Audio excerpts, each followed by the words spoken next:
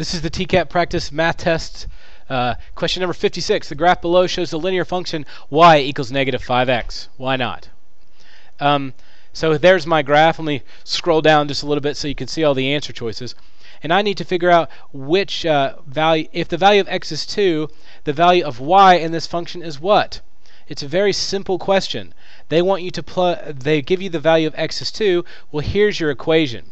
If they give you an equation, you should definitely make some note to circle it or underline it or something. And I know that the value of x is 2. So there's math. I could do this without even looking at the graph if I wanted to. All you do is plug in. This is a times question because that x is touching the 5, which means times.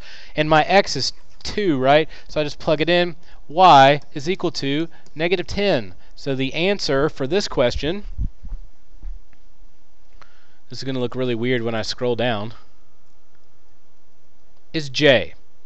There's my answer right there. It also doesn't move the uh, the writing on the wall, but it is what it is. I was trying to show you the whole thing at once. So the answer is going to be J. If I want to use the graph, maybe I don't like always typing out numbers and solving equations and things. I'm looking for the value of y when the value of x is 2. Well, here's 2, right? It crosses right here just below negative 9, which would make it negative 10. So my answer to number 56 is J.